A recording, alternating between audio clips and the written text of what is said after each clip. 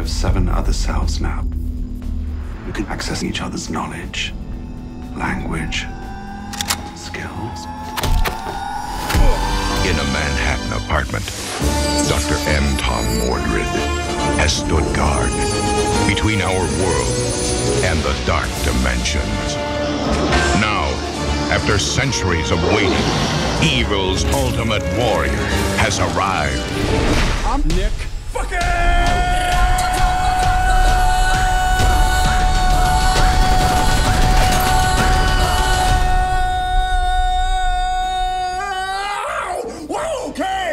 This Organized Chaos podcast is brought to you by JEMS Art Studio. This podcast is also brought to you by listeners like you. Thank you.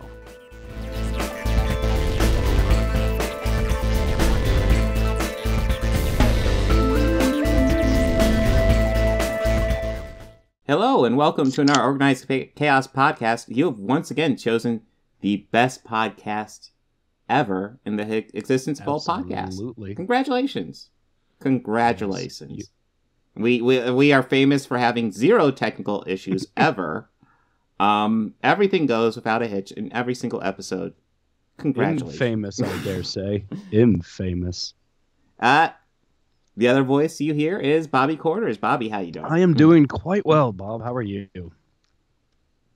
I'm I'm doing well, you know, Yeah. Work Yeah. and movie watching.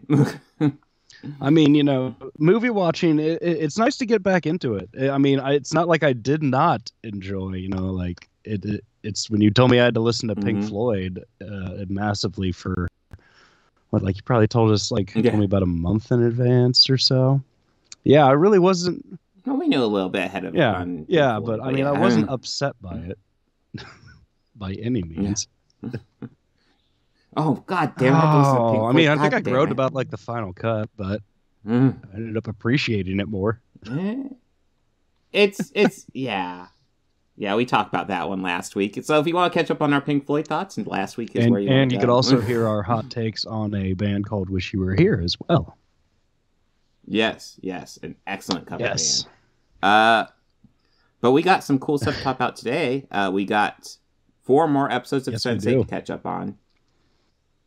Doctor Mordrid, which is an interesting anomaly of a movie, fits into our Doctor Strange uh, Yeah. like movies, which of course we've already covered Doctor Strange 1978, and we've already covered Doctor Strange 2016, and we've covered Doctor Strange Yeah. Love, and yeah, now now we got Doctor Mordrid before we get to Doctor Yeah. Strange 2, and then we're covering Nicolas Cage's uh, what was it? The Unbearing Weight of Massive Talent, a whole title that usually throws me for a loop. I usually just cut it, call it uh, Massive Talent. that that that Nick Um, Cage movie but where yeah. he plays himself, not Face Off. Got it. That was a tough role for him to play. that was. Whew. but yeah, we will be talking about that at the end. But yeah, got some fun Yeah, stuff to do. talk about. Uh, ready to roll right Oh, yeah. Sense8? All right. Sense8, uh.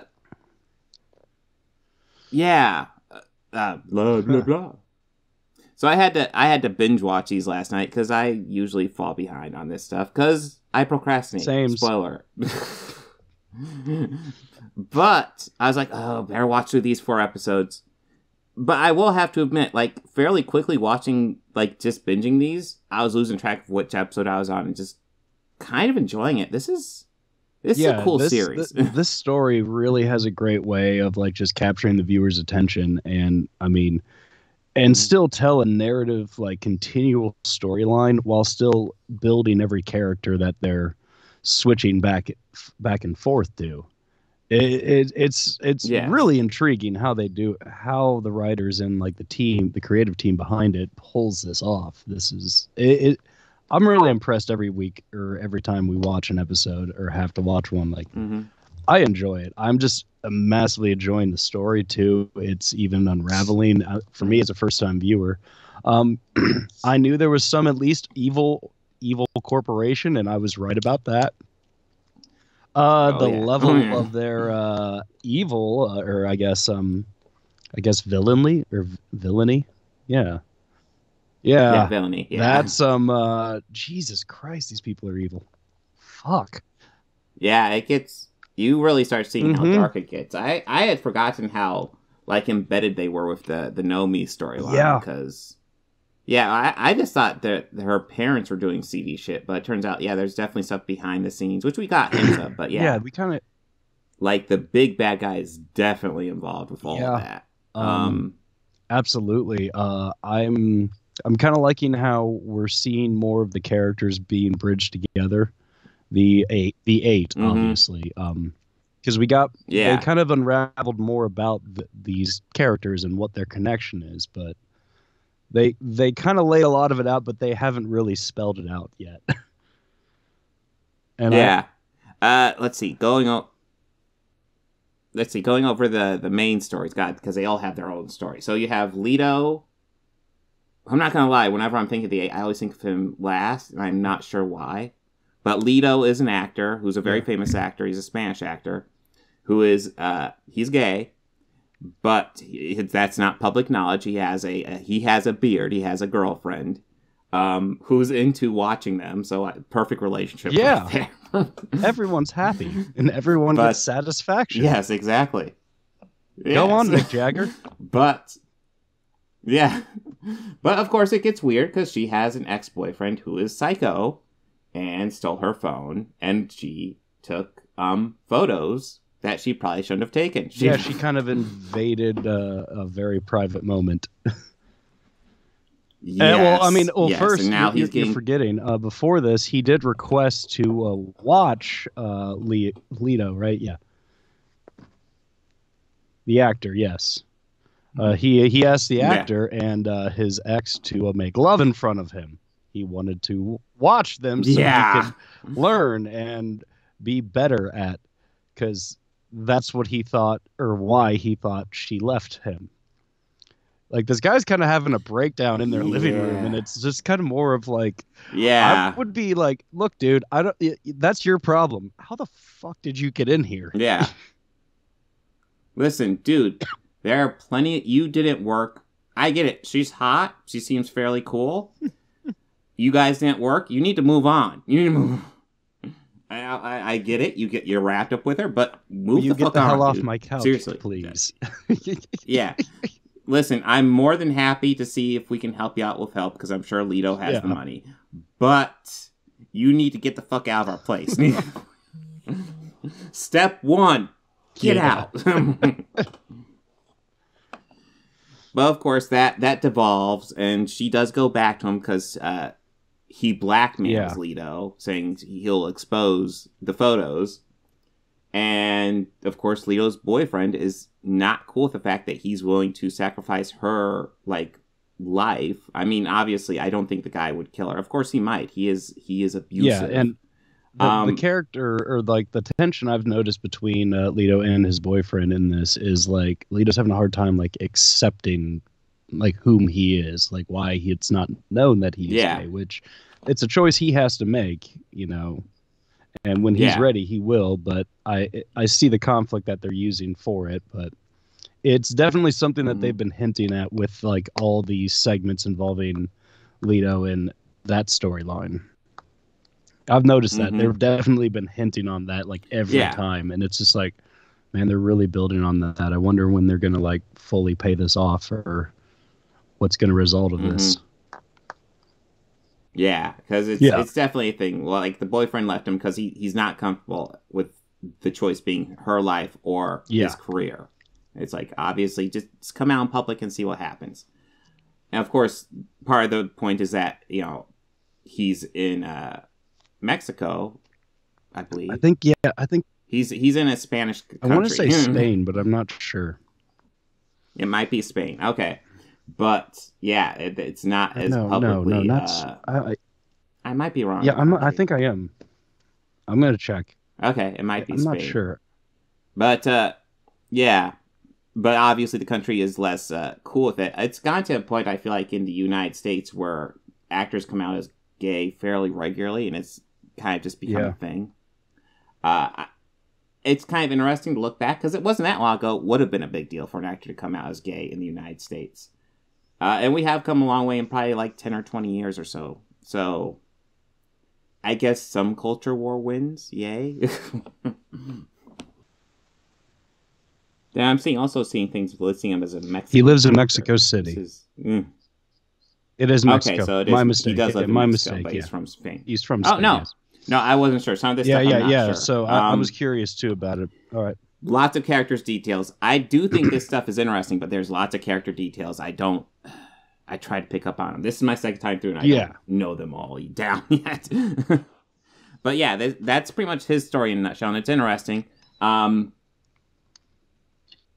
but yeah uh, let's see where some of the other characters will is mainly at this point kind of like being romantic with uh his one of the other sensates being riley and uh yeah, investigating the stuff with Nomi that he got caught into with uh, that Jonas brought up to him, Yeah. which is interesting. I feel like he had less to do this these four seasons, these four episodes, other than uh, kind of get romantic with Riley and get that awkward scene where he's he's he's making out with her, but of course she's not actually there. Yeah. That was actually kind of funny. Guys like, uh, like, what, what are you doing? Nothing. No, yeah, yeah, nothing. what? He's actually becoming one of my favorite characters, the cops. The cop. He, Yeah, yeah, he is yeah. definitely one of my favorites. Because he, he- hmm I Well, can what- tell there's- that there's a lot of the other officers there who really don't, aren't like morally, yeah, Yeah. like on that same tier as him.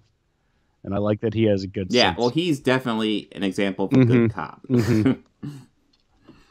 uh, but yeah, obviously Nomi is a major character. Oh yeah, we meet Bug in these four episodes. Bug's an interesting character. Uh, he's kind of cool, but yeah, he's he's got his eccentricities. I don't even know exactly how to describe him. He's almost a character you have to watch to to to to get the impact. Yeah. because Bug is, uh, he, he's a fella. Yes, he is a person, but he seems he seems fairly Yeah. cool. He seems. I mean, yeah, I, I think the closest I get to describing him is the first time he met uh, Nomi. He's like, "Hey, where's Michael?" Oh, well, I'm Michael. Oh, damn, Michael, you're hot. it's like, okay, is this is this where we're launching from? Yeah, and it's like, I don't mean that in a degrading way or anything. It's like, who's this? Your girlfriend? Yeah. Really, man? all right, all right. And it's just like, oh. Holy shit! Yeah. I, I don't I don't know if this is the best conversation, sir, but you know, you do you. you know? Hell of an introduction, Bug. yeah. But yeah, uh, well, Nomi and uh, her girlfriend do get the the most intense. Yeah, they do. Episodes because yeah, they're with Bug. They're hacking into the doctor who's doing the surgery on her. Leads them to uh, the one guy's place. the one doctor that her uh, mother found. Yeah, Yeah, the one doctor. Yeah, That, but that dingus. and yeah, but also leads her to this guy who essentially got lobotomized through the surgery she was going to get. And while they're visiting this doctor, that guy shows up on like a fucking kill spree, even though he was just like a vegetable when they saw him Yeah, earlier. like unresponsive. and yeah, Totally. Like they were snapping, Mhm. waving their hands, trying to shake him. Nothing. yeah, Like dude was a vegetable. yeah, and it, it was a big fucking hulk of a dude. He breaks in, fucks fucks shit up, and kills himself. Of course, when Nomi sees him kill himself, she sees somebody else's reflection in the mirror, which is obviously our, our big bad. Uh, at least of this season, I don't remember how long he's along for, but yeah, he's a creepy fucking dude. Yeah, He's a- uh, the uh, bad guy in this one is uh yeah i don't like him he, he gives me some bad no. vibes Yeah. Well, it really seems like what he's essentially doing is lob- giving people these lobotomy surgeries to kind of make like an army that he can mind control. yeah I'm not sure. I'm not sure exactly how that works since you can't really do that unless they're part of your sensate. So I don't know if that guy was part of his sensate or he figured out a loophole. he might have It's i don't up. know i mean they kind of really left us they, they these increments we're watching them in they really leave them in cliffhanger moments so we're really not sure of like what Yeah. exactly is going on i like it though I know it gets trippy. yeah, it's it's insane. Well, I like how like essentially you just have these eight people who have a psychic connection to each other, and at first you're like, okay, I'm not sure how they do stuff with that, but as you watch, it's like, yeah, they definitely figure out ways to work with that. it's a, definitely an interesting They premise. I mean, hey, there's an orgy scene. There is Uh, a giant, a, a, a giant orgy scene, which is something I Yeah. honestly was not expecting. Yeah, I guess it makes sense. What like Like I, two of the sensei were were going at it, and then like two more got like roped in, and all of a sudden they're all like psychically meanwhile, doing it. Victor's just chilling. he was Yeah, just yeah. chilling. yeah, yeah, yeah. he was chilling. Yeah, uh, definitely an actor who's comfortable with. Uh, uh, Yeah. I. It seemed familiar. You see a lot of them, but I was like, oh yeah, that's a front butt. Yeah. Where it's like, oh, that's But, a uh, dawn. yeah. yeah. Just like, oh, that that's a close up. Oh, okay. all right. We're doing it. But yeah, he he he's definitely the other one. He's getting uh well, well Will and Riley are getting romantic, but he definitely has a thing going with uh Kala from Yeah. India who is supposed to get married but he like the introduction of his front butt or as you call it a Dong. dong, which is a weird name. It's a front butt. Yeah, you're right. but anyways, the introduction of that is what she sees to distract her and uh cancel the wedding and delay that. yeah. Which does bring up an interesting question. So she sees uh, Wolfgang's uh, package, and apparently she passes out, and they have to like carry her to bed, uh, redress her in her pajamas, and she's out throughout that whole thing just from seeing a dong. Yeah, I thought that was interesting. yeah, that's like okay, that's it's okay. I guess she was impressed. Sure. but yeah, uh, let's see. So, ha- is there anybody we haven't brought up? Uh, we brought up I like all the we brought up the here. DJ. Yeah, and Yeah. the cop. Who th- then it is confirmed that her name is from Baba Yeah, O'Riley. yeah. I, I I thought that was cool. And the scene reunited Yeah. with her father was really cool. Because like I heard the song, I was like, I know this song. And then like when Yeah. you said the second verse, I was like, it's all right, the Who. That's that's awesome. yeah, yeah. That's awesome. uh, let's see. Oh yeah, we have Bob's son, who is now going to uh, Yeah. prison for uh, crimes her brother committed because she is sacrificial and her brother is like the face of the company. Yeah. so yeah, life's fair for That's some her. yeah, she is spending her time beating the crap out of some people who are being nasty though. So. I guess doing some good in prison. I guess. It, it did kind of remind me of that Batman scene. yeah. We're taking you away for protection. What? I don't need protection from them. Protection Not protection for you. Protection for Them. them. Yeah. yeah. That that's that's the impression you're getting because she's she's small, but she kicks serious ass. Yeah, and I'm pretty sure she also would have whooped the crap out of her brother if given the opportunity. oh yeah. Well, uh, there's also that great scene where uh, Nomi's trying to get away and she's surrounded by the cops. And literally, like, Sun takes over her body, and then Sun can see Will, and Will's giving her Yeah. advice on One's how the gonna- cops are going to he's gonna- approach her. He's left-handed. He's gonna reach for your right hand now. yeah, that was yeah. like, that was like, it's like, oh, oh, they're my working- god. all right, they're working in tandem. That's that's fucking Yeah. awesome. Yeah, it's it's little stuff like that where you really see how like this psychic connection could be really fucking useful. It's like I dig Yeah. it. I'm trying think. Did we? I mean, we brought up Wolfgang, obviously. Well, okay, well, it's Wolfgang's dong. So, so we did bring up I, I Wolfgang. thought his name was Victor. oh shit! Yeah, we need to talk about him though, because uh, like his childhood friend uh, is in the hospital in critical Yeah. condition because the gangsters that uh, they stole from found him and and shot him in the chest with a shotgun. I'm shocked he's still too. alive, honestly. I am too. I'm su- yeah, I, I just I'm remember su- first watching it, I was like, oh god, I was gone. like, oh, oh. Well, I remember think watching it and thinking about the guys in the van. Like when it showed them again, like, yeah, I'd be pumping that again because he's gonna murder you, yeah. he's gonna fuck you up. Oh yeah, I would also be driving away too.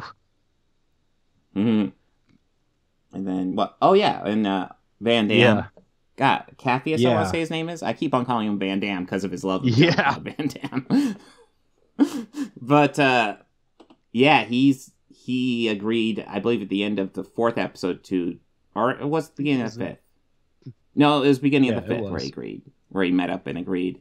Uh, he's going to use his bus to transport this essentially huge crime lord's uh, daughter back and To forth school. to her Yeah, medical to her medical treatments. treatments. Yeah. and that's right. Yeah, because like and it's kind of it's well you see how mixed it is for him because like he, he agrees to do it because fucking money and treatment Yeah. for his mother uh yeah but like you see like he does like the daughter and he and the daughter have a nice Yeah. relationship but also the father is a complete fucking monster yeah, that's proven in one scene that's really dramatic. Yeah, he pulls he pulls him aside and he says, uh, "Hey, this is a guy who fucked with me," and straight up just t- puts on an apron, cuts off the guy's hands, just and he he personally does this, and he's like, "Now this guy knows what I'm about," and the unwritten thing is, "Now you do Yeah. too," and you and that's when he starts saying, "Okay, I can't do this anymore," and you see it's kind of heartbreaking because you see he goes home and his mom is doing so much better. She's up and about. She's making dinner. Uh, and he has to tell her, "Yeah, I can't continue this for you." but yeah, I like I like all these characters. I like all these stories. I like it. I like it in particular when the stories can link up. Um, like like the other big scene. Although I I this was less than I th- was hoping for, but it was still kind of cool when Will has a shootout and then Lito has a shootout scene in his movie, and you see them linking up here and there. Yeah. but yeah, uh, overall, yeah, this is a great series. This is a series where I'm like, oh yeah, we need to catch up on Sense8, and then I sit down and watch. I'm like, God, this is God, good. yeah, no, it is. I, I I'm already waiting just for all of them to be together.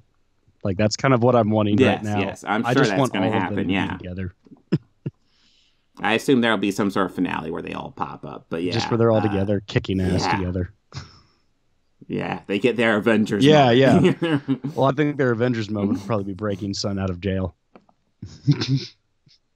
yeah, we'll have to see. We'll have to see. Though I'm pretty sure go. she But can yeah. just like Mm. get out on her own.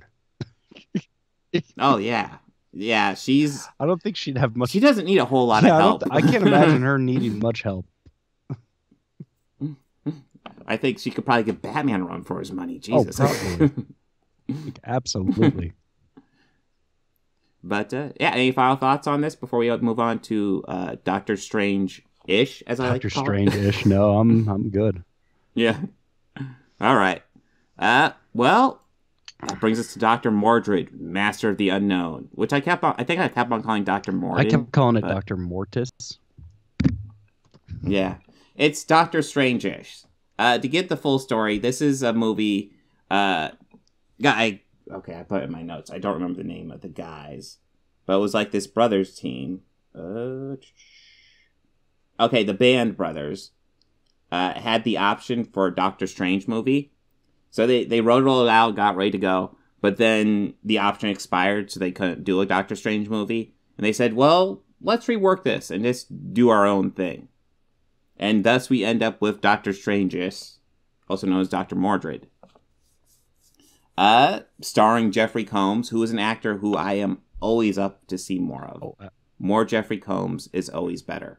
You can never fail if you cast Jeffrey Combs. Period. Um, but yeah, this is definitely the type of movie I want to do. Like the podcast felt like a good opportunity to explore some of these movies I've never had a chance to watch, and I just never have time. So I do a podcast now. I have excuses to force myself to watch some of these movies, and this is one I have mixed feelings about. Well, I know you were texting me. What were your feelings on this I one? really Molly? enjoyed it for its campiness. Yeah, no, I when it was campy, I loved it. Um, Yeah, yeah. I will tell you what I my my two favorite things in this movie are Jeffrey Combs, obviously, because Jeffrey Combs. Yeah. Um, and also when it would go into like the cheesy dated special effects, I love that. Stuff. Yo, yeah, that was just marvelous. uh, the uh, Yeah. overacting by the uh, goons, the bad guy goons. Like, Yeah, I, I loved, and that, and like the guy. Well, no, I was like best character in the whole movie. What Brian Brian Thompson's name? The actor, I right? think. wanna Yeah, he played the uh, lackey, Yeah. the guy lackey, Mm. who uh, pretty much later got hypnotized or uh, zo- or zombified. Yeah. Well, there's this. There is a goon that like gets like uh immortal powers, and I swear to God, he looks like Andrew Garfield. If this was He made in 1992, I'd be like, that's fucking Yeah, Andrew he does totally look like Andrew Garfield. it's like, how is that not Andrew Garfield? Oh, Andrew Garfield was 10 when this. Is was made. it? It looks like him, though. uncle. Yeah. yeah. but uh, I could see easily Yeah, uh, a lot of the uh, Doctor Strange like roots to this. Like, I mean, Oh, yeah. Oh, yeah. absolutely down to the costuming, the set design of the how the home in Manhattan. yeah. I mean, Mhm. God's sakes. I assume they. I assume they fudged the script a little bit so it wasn't the Sanctum Sanctorum. So instead, he's a landlord with apartments. Yeah.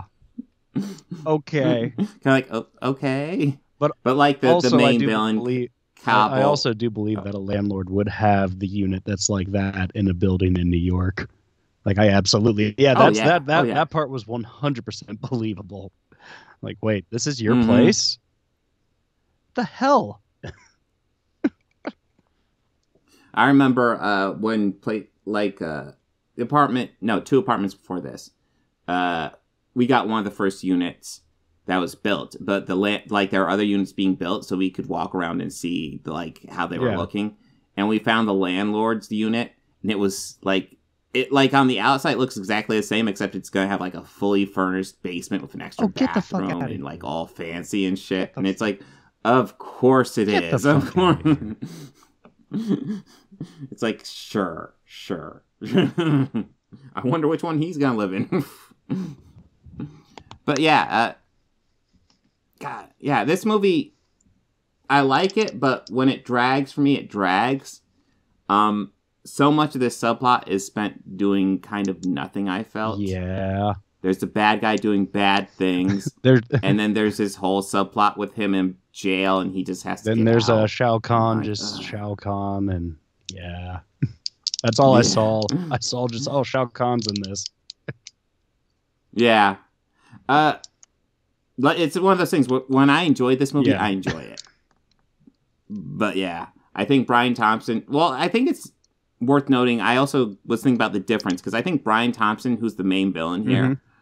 who I think is a great B movie actor, and I want to make a, a difference between that and someone like Jeffrey Combs, who I don't think is uh, as a great B movie actor. I think of as a great Yeah. actor I, I who happens to be who in just B happens movies. to do a lot of B movies. Yeah, yeah. So technically, he's a B movie actor, but God, he's just fucking. Well, he is a He's great fucking- actor. I mean, obviously, you know, uh, Yeah. Herbert West is his most like famous, I'd say, like role that it, like I know him the best from. Well, Mhm. actually, that's that that's kind of inaccurate. That's that's one of his most beloved roles by me. Uh, the role that I 1st Mhm. knew him from was uh, The Frighteners, where he played a special investigative detective who was just all kinds of batshit crazy. Mhm. Just You see, I, I, oh, I pri- Yeah, but I primarily know him from Star Trek, where, like, he plays like so many goddamn characters in Star Trek. It's ridiculous. But they're all either straight up villains or like good guys who are like seedy as fuck. and it's like I love all of them. They're great in all their own ways. Yeah. but here, like, I would argue in a lot of ways the way this is scripted, this character isn't too much different from how like the one in 78 would be written. It's not a whole lot to him. But Jeffrey Combs makes this character so much He more does. interesting. and I think a lot of it is Like, like, and- we get a lot of great reads from him in this movie. Yeah. I mean, he's he's just essentially just playing the hero here, but it it's it works. uh, I'm trying to think. Um,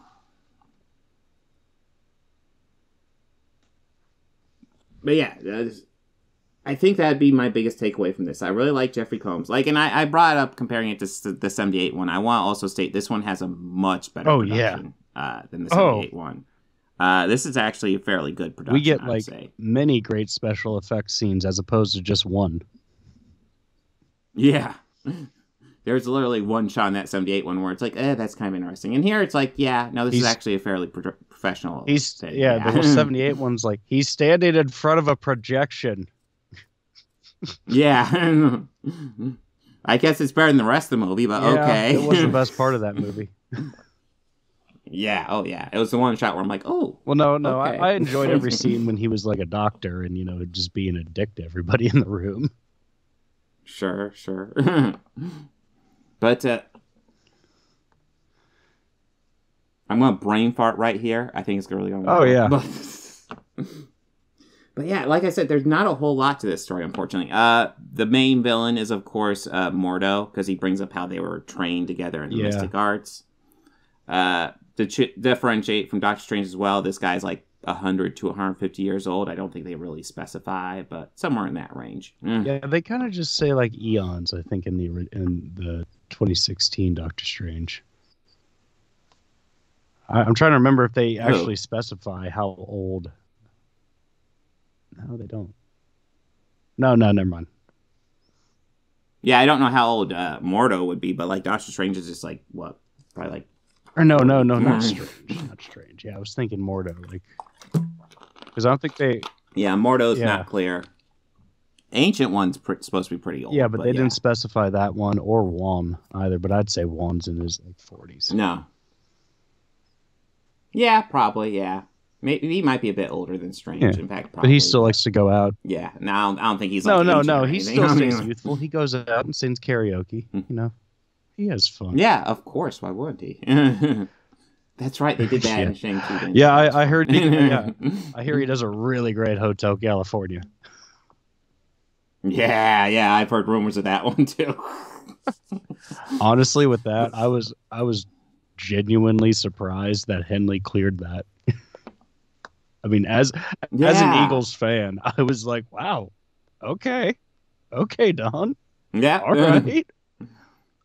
Yeah, Henley, uh, Henley in particular will get kind of uh, ridiculous with his copyright. I copyright. get it.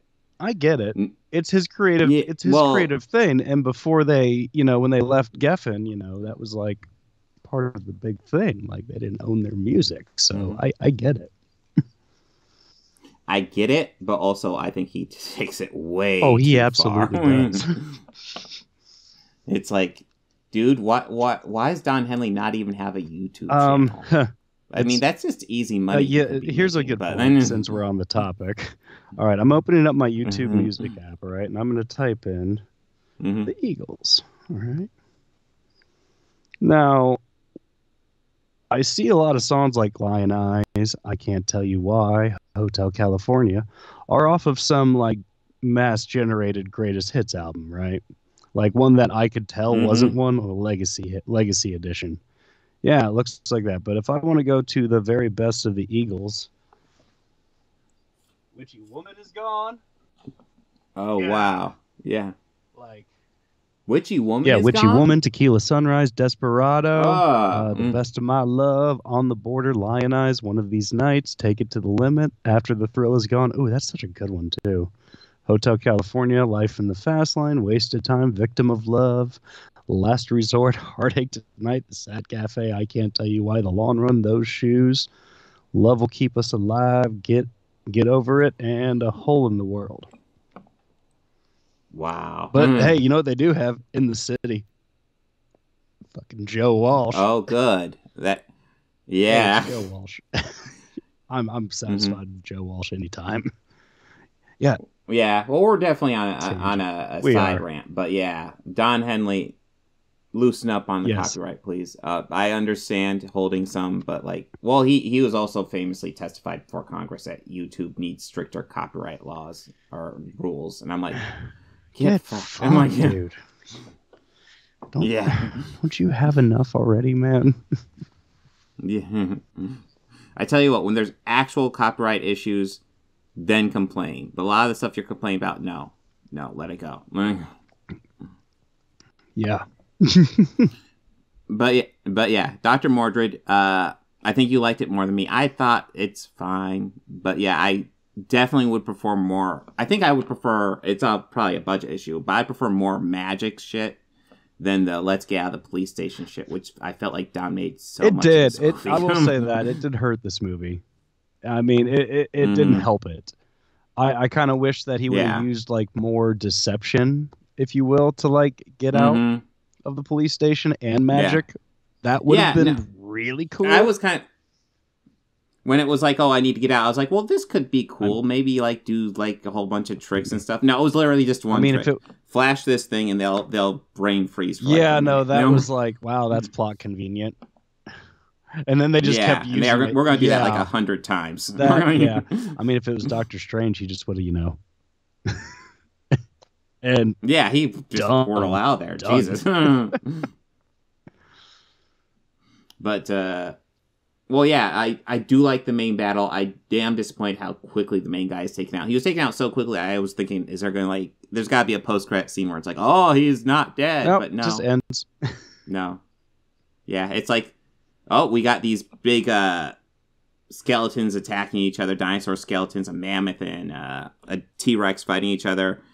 The bad guy gets stabbed by the mammoth, and we're done. I mean, that that that and that I do love, fight was kind of cool. I love the.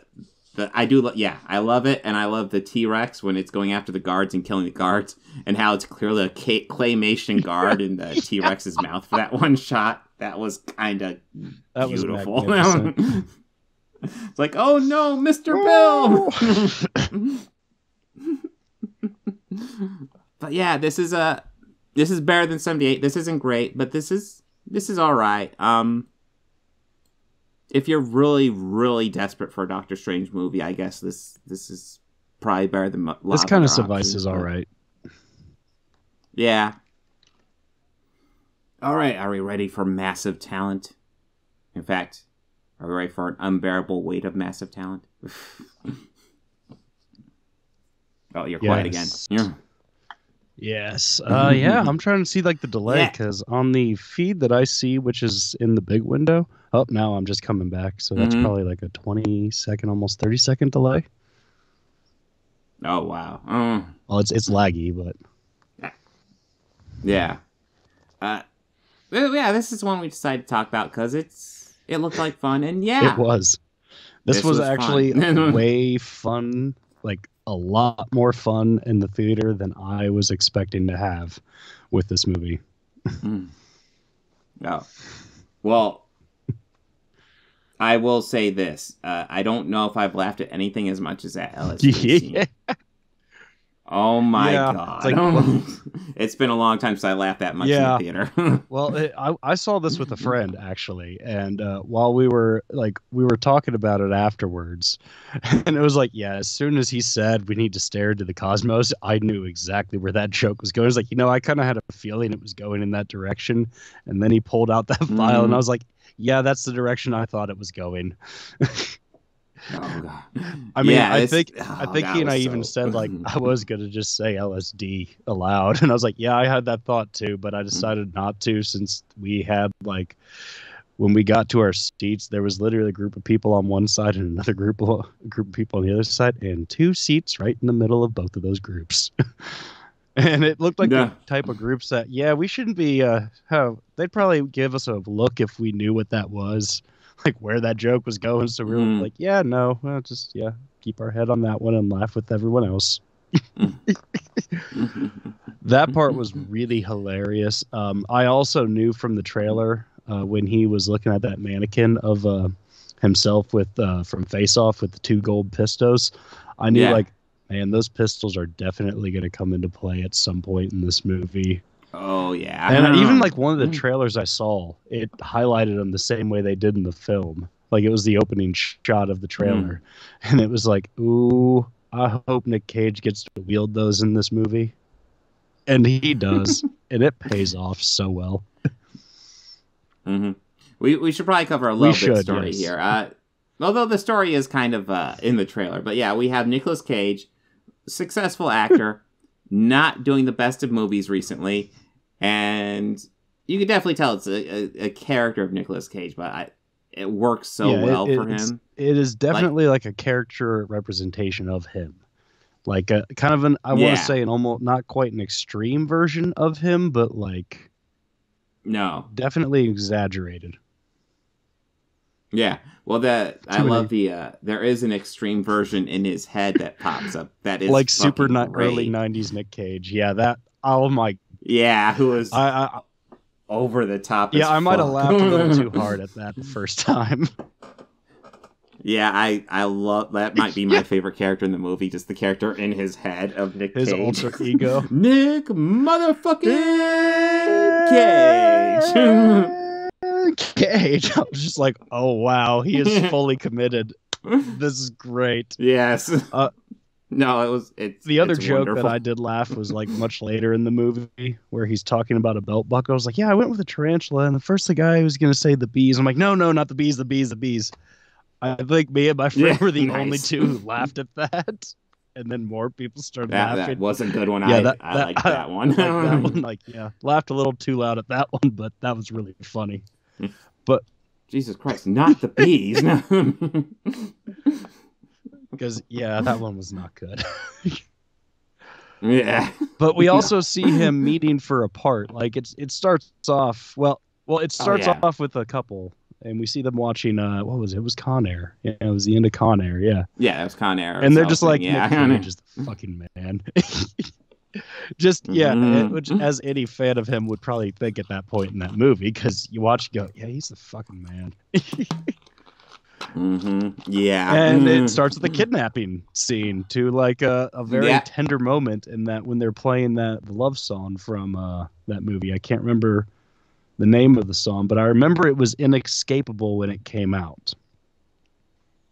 Yeah.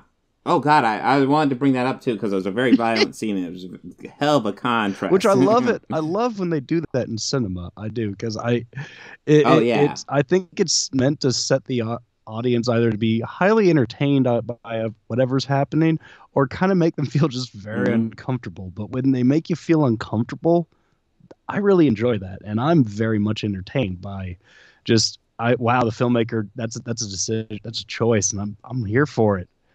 And I kind of probably get the same level of enjoyment as uh, the filmmaker would, as in the un- how uncomfortable it made the audience.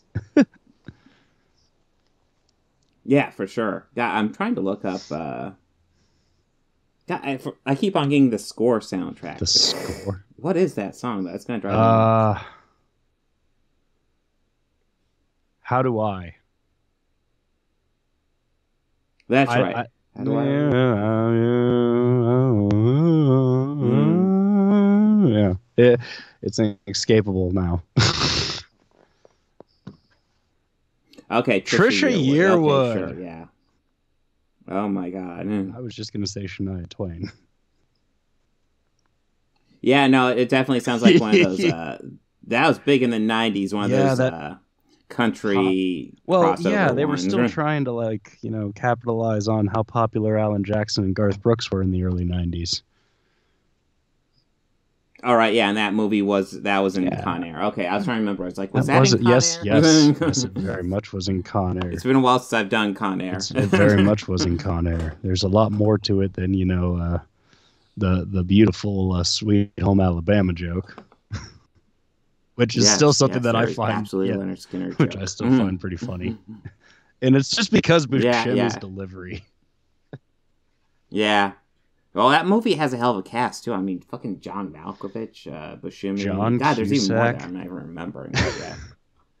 yeah, that's right, John Cusack. Shit. Um, was Ving Rhames one of the prisoners? Yes, he That was. Familiar.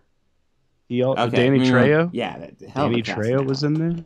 That's I can't remember yeah. the actor's name, but the guy who played Bubba was in that from Forrest Gump. Oh, I can't. sure. I always forget his name, but he, he's always so good. I I can't either. Yeah. But yeah, God, Con, yeah, it's been a while for Con Air. I just, but and I, do think that we're not the off topic it, so- because Nicolas Cage is in Con Air, and Oh. they do reference. Well, they reference a lot of his films. I think the two they mostly reference more than anything in this are Face Off and Con Air. Yeah, Con Air gets hit hard at the beginning, but then throughout it's I was I want to say mostly Dude, there's face a off. there's a blatant Um, face-off like reference, uh, the stabbing in the thigh with the knife. Like that, yes, yes, yes. I remember thinking to that. And I was just like, oh, he didn't twist it. You know, like in hey, hey, I see you. I like Yeah, Captain yeah. America moment. I understood that reference. Yeah, yeah. but yeah, uh, so he's an actor. He's been doing all this stuff, but he's not getting the gr- greatest press because let's face it, he hasn't done a lot of great movies recently. And I mean, let's also face it. If we ever hear about Nicolas Cage in any source of media, it's either his outlandish drunken behavior, his spending habits, or him declaring bankruptcy. but mostly his drunken spending habits. Kind of a mix. It's, it's a hodgepodge Yes. of all Mm. of them. I mean, I, re- I remember seeing at least Mm. two weeks in a row where he like drunken footage of him singing karaoke at a bar after after his most recent divorce. And Yeah. one like I think Smooth. one was in Mm. Las Vegas and then the next day there was another one from Reno. it's just oh Yeah. Nick. Oh. But he's still saying a Mm. great Elvis. Still saying a great Yeah. Elvis. but uh, yeah, I think the movie picks up with Nicolas Cage, and he's talking to uh, representative for a movie, a casting agent for a movie coming That's gonna be in Boston. and yeah, and he is Nick is actually excited for this movie. He wants to be in it.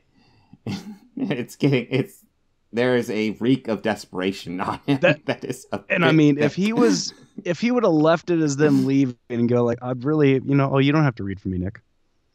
All right, well, I'll be in touch. If he would have left it that, he probably would Yeah, have had yeah. a good shot at it. Like, he probably still would have had it. yeah, If he decided not, oh no, no, he read. and he did the part and he went like full three hundred and fifty percent into it. Oh, and it was, it was kind of beautiful. Yeah. Yeah, oh, there was there was a reek to that one. Yeah, like, it was just oh man, this is I mean, when the guy said you don't have to read, I didn't even pick it up as like, yeah, you we're not interested. You don't have to read. I picked up as you're Nick Cage. We know what we're you. getting. We- we- yeah, you know, and nope, Nick was not happy with that answer. oh yeah, it was bad. Yeah, like he even closed the guy's door Yeah. after he opened it. But we we after And, that yeah, we we- do see him like you know riding back in the car with his younger alter ego self, and I think that's the first time that we get introduced to him. And this looks like Mm. super super baby face, super young Nicolas Cage. Just Yes. fully Mm. unhinged Nick Cage. Like what was it? The uh Bitten by a Vampire movie he was in or what was that? What was the vampire movie he was in? He did do something like Once that. Bitten, yeah, I don't- think. What Was that it? So what? There, I'm trying to remember because I want to say there's one's Bitten and then there's like Vampires Yeah. Kiss, and one's Nick Cage and one's Jim Carrey. I don't know. I think Once is Bitten is Jim Carrey.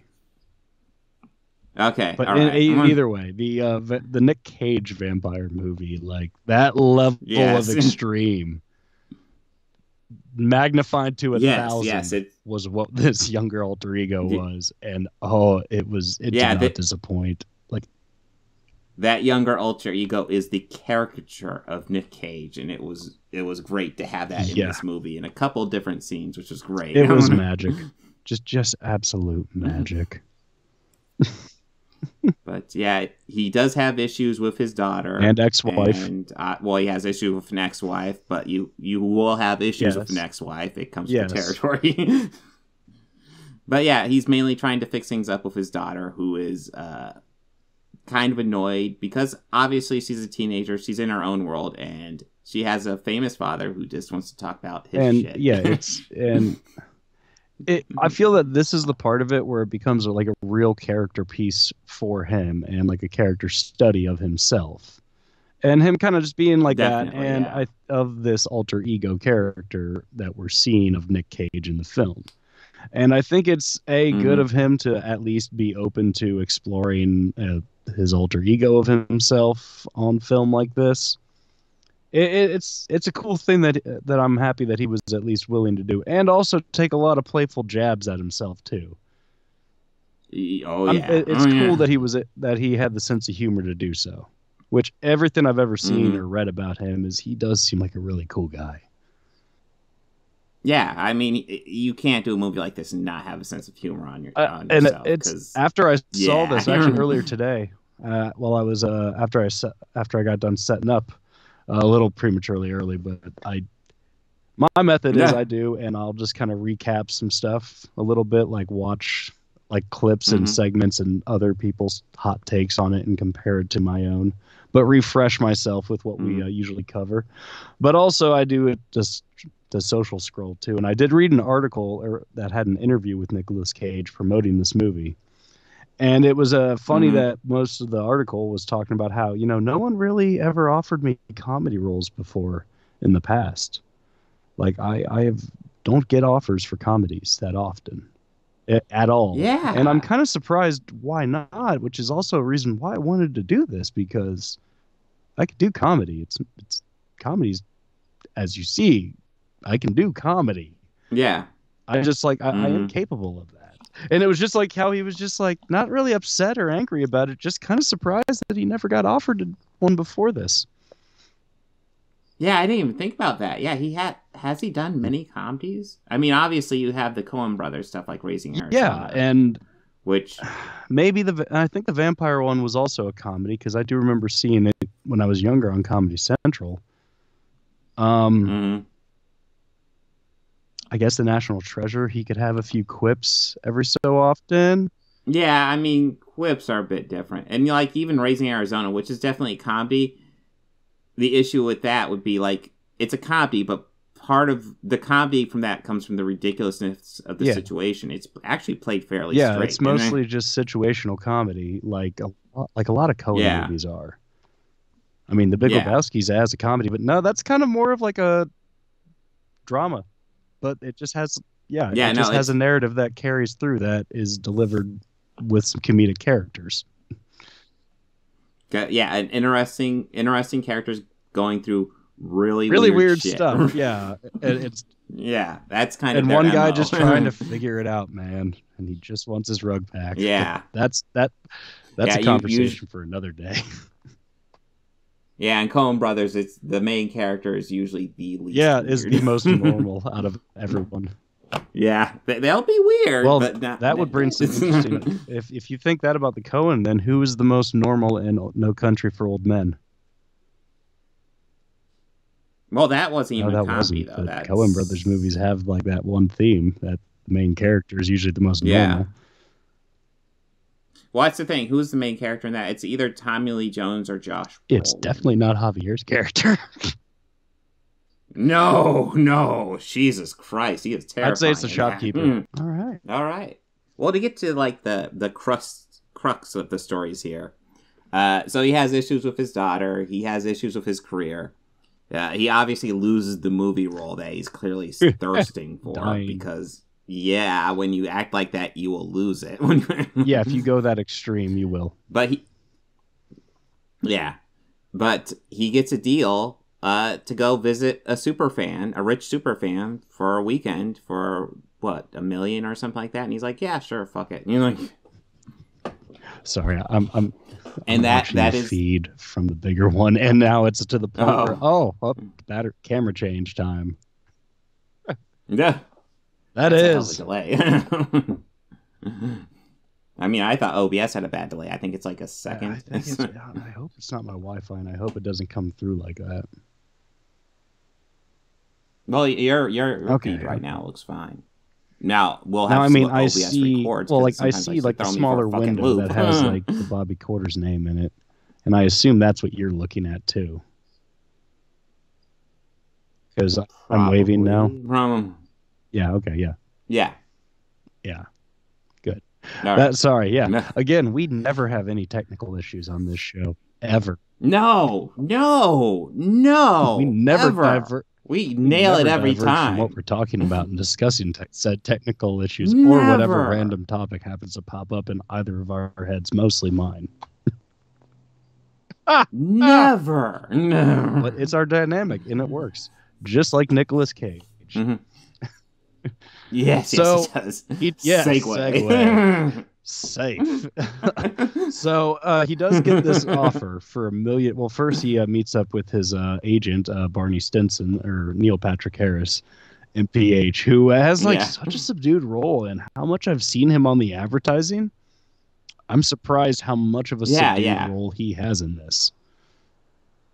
yeah, it's he has an important role, but it's not a particularly big role. And um, he he essentially he's the middleman between him and Pedro Pascal. I can't remember the na- character's name, so I'm probably just gonna lapse to the actor's name. But Yeah. yeah. So he, uh, want, uh, Pedro Pascal's character wants to uh, pay Nicolas Cage a million dollars just to hang out on his birthday at his place. Oh, and he also wants him to read a Yeah. script, but his agent doesn't tell him that. yeah, Nicolas Cage has no idea about that one. He's just thinking I'm And just get a million dollars and just be, you know, Nicolas Cage. Cool. Yeah, yeah, easy, Yeah. easy gig. But uh, he gets down there and, and And- he realizes that this guy is really just a super fan. And, you know, he just happens to be super wealthy, Yeah. but he's just a super fan. hmm And really, he wants him to read a script. He had no idea about it. So they spend a day hanging out, getting to know each other. hmm Do some do some LSD, and they end up having like a really great day and a very epic uh, yeah. paranoid freak out moment in town, which was hilarious. Oh my god! Like I But- don't even want to go into it because it's Yeah, impossible to reenact. th- there's some so good Parts of that that they've had the the camera framed like it was an action movie. I don't know if you noticed that at all, Yeah. Yeah, I know. but like a bit, lot of that scene of like whenever they're running and freaking out, it was totally framed like a Mhm. Michael Bay action movie, and it was play. Oh yeah, it was a straight up action movie, and it's a, that's part of the funny because there's nobody all. chasing them. But They're just freaking out. They're just high. yeah, yeah. they're just tripping and paranoid. I love the uh, "Gone in 60 Seconds" Yeah. bit at the end. Where it's like, you did all your driving. I did. Boom, backed in, backed in, hit, drives up on the sidewalk, crash, crash, crash. the side of a building. oh my! While driving on LSD, like, no, no, no, I can't drive on acid, man. No, but I could do it in J- "Gone in 60 Seconds." I must You're be able right. to do it. I can. no, you can't. But then Nicolas Ah. Cage gets picked up by the CIA. Not even joking. yeah, Not yeah. even joking. Yeah. Turns out Pedro Pascal is a big drug runner, and they and he has kidnapped somebody. The kidnapped uh, woman we saw Yeah. at the beginning of the movie, and they want his help to try to save her. And he's hesitant because he really likes Pedro Pascal. Their friendship is kind of the anchor of this movie. It works so well. There we But you know, they bring up, you know, what if it were your daughter? And he's like, oh, Yeah. shit. yeah, that that help." was a low blow CIA. well, we we get introduced to them earlier when Well, Nicolas mm. Cage gets off the boat because we see them spying on him, and we see one guy like I think I must be delirious because why the fuck is Nick Cage here? Yeah. oh, you mean like you know like from Croods from the Croods too? It's like I'm 45 years old. Why in the hell would I see the Croods too? Yeah. Well, of course, my eldest looks at me after a little while, and she, and and they and they say, um, "Is he the dad there? I'm trying to place his voice." I'm trying Yeah. Yeah. It's like, yeah, Yeah, yeah, he was that's the who he was. no, like when I first like uh over the holidays, the wife had it on because she was just wanting to watch like animated stuff around the holidays, and she had it on, and I Mhm. remember like kind of coming out and hearing the voice going, "Wait a minute," and she's like, "Yep, that is exactly who you think it is." It's like it's Yeah. Nicolas Cage, isn't it? All right, yeah. okay. And just for that, I'll watch it. And I Yeah. will say, after watching this, um, I have added Paddington 2 to my watch list. Uh, maybe I need to rewatch it because I think I saw that one in the theater, and everybody loves it, and I think it's fine. I- I mean, I am just fine. kidding. I think I played that for laughs. Well, I know it's it is a movie that gets lots of love, um, by lot lots of film buffs too, and I, I like it's well done, but Yeah, I, I, Okay, yeah. okay, okay. I sometimes wonder if people are just not expecting a decent movie and they're surprised and they overblow it a bit. I kind of suspect that. Maybe if I rewatch it, I'll gain new appreciation for it. But I remember just It's thinking it's, it's fine, it's, a, cute. It's a it's a movie. Yeah. It's a it's a it's a Yeah. family movie. It's fun. So- When we finally yeah. meet Pedro, uh, we find out that he is a very wealthy, wealthy man living in Spain. Um, the CIA seems to think that he is a part of a gun runner and works for a very deadly cartel. Uh, as it turns out, he is a he is the face of it. It's his cousin who runs it. He just happens just to be the face. Which is good because like they they have such good friendship and like it was kind of like oh it's disappointing this yeah, because like the whole time we're thinking that like the CIA believes that he's holding this girl captive that we saw kidnapped, and it turns out that he's the that she's the daughter of a president who's running uh, for election in this uh, local town, and he isn't exactly cartel friendly. That's why the CIA is involved, trying to Mhm. get, you know, trying to save this uh, daughter and for and prevent a Nasher. So Nicolas Cage was their end, so they planted him with a tracking device. How they and that's how they were able to pick him up earlier. Yeah, Mhm. exactly this Mm. movie like had a lot of moving parts. Like yes yes it more than I does and it it it kind of yeah but it works because it's just it's a ridiculous Nicolas Cage movie that is super Yeah. self self aware. Just It is just oh kind of. Mm. Perfectly over the top for what it is. Yes, it's it's probably one of the most fun movies I've seen in a while. Like I don't know, it's been a while since I actually guess I've gone out and seen a comedy, but this is a good one. This is a This good one is. to check out. This is just fun. Uh, if nothing else, it's worth to check out for the LSD scene and young Nicolas Cage. But the other stuff's fun too. I love the relationship between him and oh, the Pedro could, Pascal could we talk about Pedro's uh, Nicolas Cage museum? Oh God, you're right. We have. To So he has that. this like hidden layer where we think where like Nick Cage Mhm. fir- and the CIA first think that's where the girls are being or the girl is being held. Yeah, it's it's kept as like this super secret thing. It's like Nick, there's this thing I have to show you. He's like super like down about it, and they walk and in. it's it's like Oh a my Nicolas Cage museum. It's a shrine. It yeah, it's a shrine. You have that statue of Nicolas Cage that's From really Face Off. disturbing looking with the guns. And then uh Like what is it? He said he he, he said he like, paid "My like, what, God, like, that's- almost like thirty five hundred for it. no, uh, he asked him, "How much did you pay for that?" And uh Pedro Pascal's like, "I paid six thousand $6,000. It's like, "Oh my god, that's It's grotesque. disturbing looking." I'll pay. I'll pay you I'll twenty it. thousand for it. Pedro Pascal's like, It's not for sale. And he, Pedro Pascal's It's just like, no, It's not for with you asked me to part for with that? No, no. But it's funny that like you know because it highlighted like it, or I guess it played off of like you know his notoriously bad spending habits. like yes, and how much he overpays for stuff. Like, good God, dude. yeah. like- Here's something I hate: twenty thousand. That's not how you negotiate price, bro. It's not. Yeah. but yeah, it's it's such a crazy museum. I'm trying like I couldn't even name all the Oh movies that God, uh, that there, there was a museum. Wicker Man reference in there. yeah.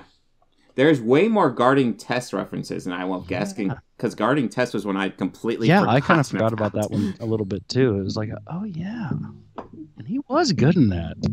That that is definitely a movie Yeah. that exists. Oh yeah, there that was one that was referenced quite a bit. yes, yes, it got hit pretty heavy. Probably that one might be third behind Con Face Off. and uh, 'Cause Face Off was- Face Off, obviously. It was Face Off definitely is number one. that was referenced. There was like a there was a small Wicker Man reference at the end. Um, hmm there wasn't. I don't think.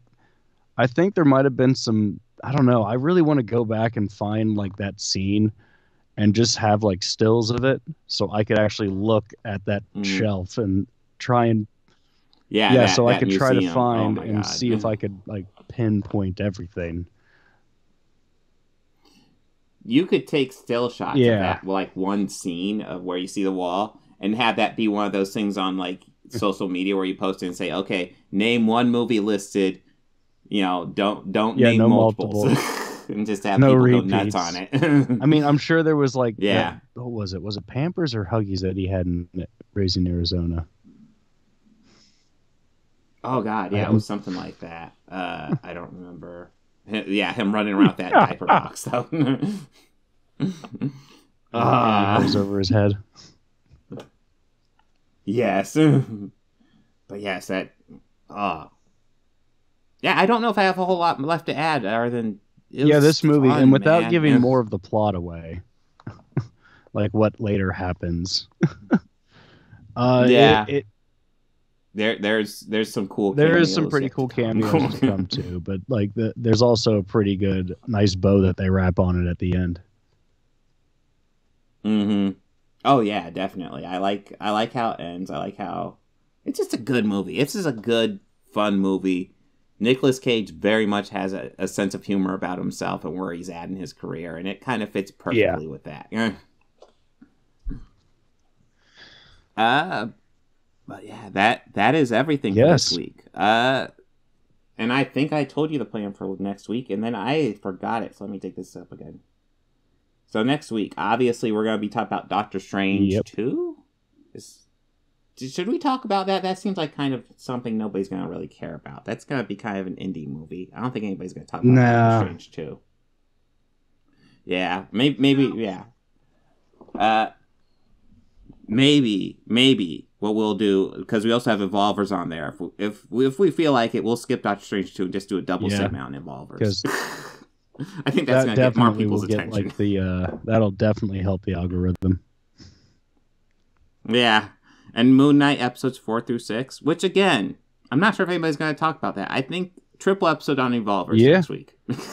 Luckily, there's just one, but we'll but so we'll much just watch it twice, Evolvers. two weeks in a row.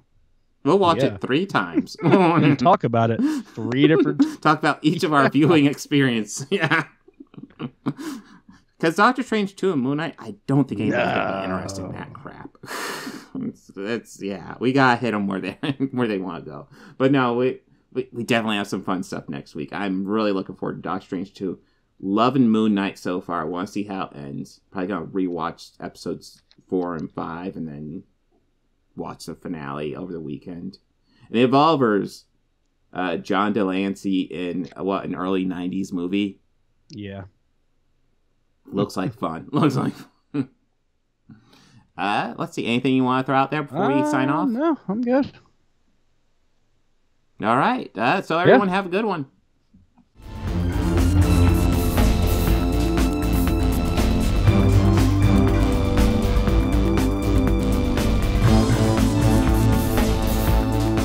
I want to go ahead and add some audio credits at the end here.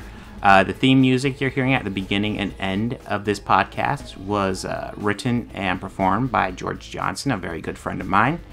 And my current Patreons are uh, Fel Martins, David Lara, and Lindsay Pankhurst. If you'd like to become a patron, go ahead and follow the link down below. Anything you can provide would be incredibly helpful to this channel. We're barely limping by right now. Uh, I'd love to make this my full time job. but I'm miles away from that right now. So, any help you could provide, just a dollar a month would be amazing. You know you want to. All your friends are doing it.